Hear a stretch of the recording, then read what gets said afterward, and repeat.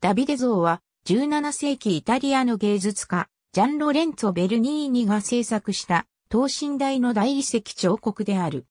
ベルニーニのパトロンであった数奇教師ピオーネ・ボルゲーゼが現在はボルゲーゼ美術館となっている自身の別荘に飾るために発注した多数の作品のうちの一つである。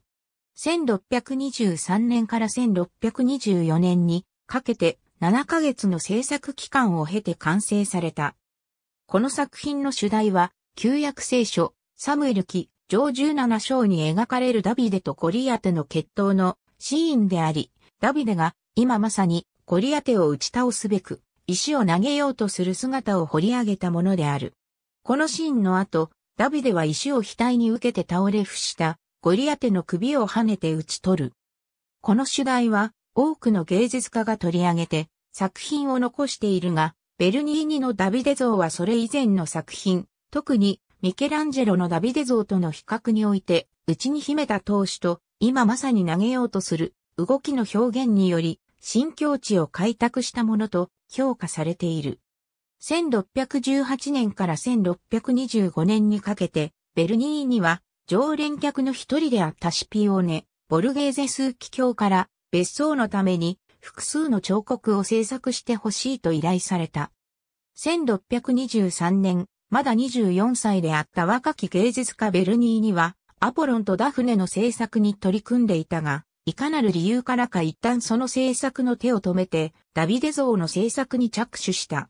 支払い記録によれば、ベルニーニは1623年半ばには着手していたようである。同時代の電気作家、フィリッポ・バルディヌッチは、ベルニーニはそれから7ヶ月で完成させた、としている。ダビデ像は、ボルゲーゼ数奇教から依頼された最後の作品であった。なお、この作品の制作に着手した直後であろう1623年8月には、ベルニーニの友人で庇護者でもあったマッフェオ・バルベリーニが、教皇に選出されて、ウルバノス8世として着座している。旧約聖書、サムエル記、上17章の情景が主題となっている。イスラエル人とペリシテ人の間で戦となり、ペリシテ人随一の戦士ゴリアテが、イスラエル人の軍勢の前に進み出て、決闘を挑んできた。イスラエル人はその威勢にひるみ、誰もそれに立ち向かおうとしなかったが、そこに若き羊飼いダビデが進み出る。ダビデは神の名によってお前に立ち向かうと言って石を取り出して透石紐で持ってゴリアテに投げ放つ。48そのペリシテ人が立ち上がり近づいてきてダビデに立ち向かったのでダビデは急ぎ戦線に走り出てペリシテ人に立ち向かった。49ダビデは手を袋に入れてその中から一つの石を取り、石投げで投げて、ペリシテ人の額を打ったので、石はその額に突き入り、うつむきに地に倒れた。この像のダビデの姿は、典型的な羊飼いの服装である。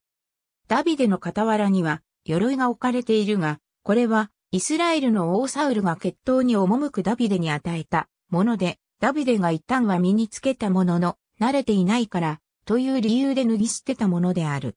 足元にはハープも置かれているが、これはダビデがハープを良くするものとして紙幣に登場することから、ダビデのアイコンとして描かれているものである。この主題は、ドナテロやベロッキオ、ミケランジェロといったルネサンス期の芸術家も取り上げているが、ベルニーニのダビデ像はいくつかの重要な点において、それらの作品とは異なっている。一つには、彫刻作品がそれ自身で完結するのではなく、周囲の空間との相互作用までが表現に含まれていることである。これは必ずしもベルニーニに始まるものではなく、サモトラ家のニケのようなヘレニズム時代の彫刻においても意識されていたことである。ベルニーニがダビデ像を制作するにあたって影響を与えたとされるものには、ヘレニズム彫刻の一つ、ボルゲーゼの検討士が挙げられる。今まさに攻撃を仕掛けようとしている剣闘士の動きは、ダビデが透石紐を振り回そうとする姿に通じるものがある。もう一つの違いは、ベルニーニが掘り出すことを選んだ物語の瞬間である。ドナテロのダビデ像とベロッケオのダビデ像はダビデがゴリアテを打ち取った後の姿を選んでいるのに対し、ミケランジェロはこれから戦おうとする姿を選んでいる。一方、ベルニーニはダビデがまさに石を投げようとする行為を描くことを選んでいる。実はこれは当時としては斬新なことで、古代以降の彫刻では物を投げる姿を取り上げるのは極めて稀であった。一方、絵画では動きを描こうとするのは普通であり、例えば、アンニーバレカラッチは、フレスコ画において、キュクロープスのポルペーモスが石を投げる様を描いている。ベルニーにはカラッチを史上4番目に偉大な画家と評しており、ローマのファルネーゼ宮に描かれたポルペーモスのことも知っていたと考えられる。ベルニーには、レオナルド・ダ・ヴィンチの著作にも精通していたのではないかと考えられている。ダ・ヴィンチは、絵画の章の中で絵画において、物を投げる人物をどのように描くかという問題を取り扱っており、ベルニーニがこれをダビデ像の制作にあたって参考にした可能性がある。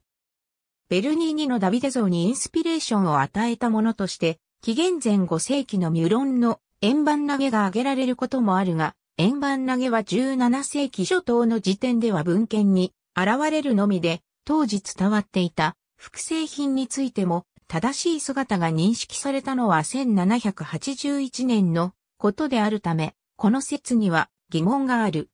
また、クインティリアヌスやルキアノスが著作の中で円盤投げに研究しているのも、投げる行為についてというより、膝が伸びているか曲がっているかという話についてであった。バロック期は彫刻の革新期であり、ベルニーニはその最前線に立っていた。ルネッサンス期の彫像は真正面を向いており、鑑賞者がある決まった位置から見ることを意図していた。一方、ベルニーニのダビデ像は、見る角度による変化も考慮に入れて制作され、像の周囲に空間を設け、鑑賞者に周囲を歩き回って鑑賞することを求める立体作品となっている。これにより、ダビデ像は鑑賞者を作品自体には描かれない敵、ゴリアテとの戦いの渦中に引き込むのである。すなわち、ダビデはそのつま先を台座の端下に置きながら、文字通り現実と芸術作品の境界を踏み越えている。また、これは彫刻における時間と空間の関係に挑戦するものでもあった。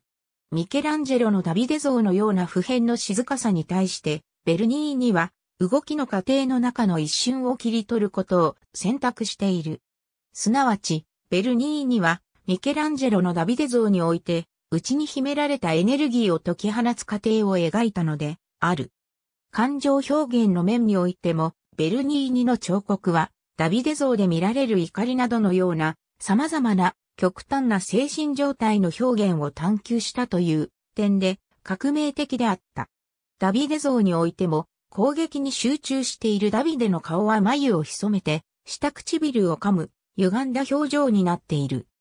電気作家、バルディヌッチとベルニーニの息子ドメニコは、バルベリーニがベルニーニの顔に鏡をかざし、ベルニーニが自分自身をモデルとして彫刻できるようにしていたという逸話を語っている。これは、ベルニーニの制作手法についてだけでなく、未来の教皇との間で極めて親密な関係にあったことを示している。写実性を追求するだけでなく、ダビデ像は戦士像をどのように表現すべきかについて、当時の慣習にも従っている。生涯において人体比率を追求したアルブレヒト・デューラーが示したように、ダビデ像はビル・ベリコシスを最もよく表現する十一頭身となっている。また、ダビデが後にユダのライオンとなることから、交代した額、突出した眉、曲がった鼻を持つ、獅子面で表現されている。客中参考文献。ありがとうございます。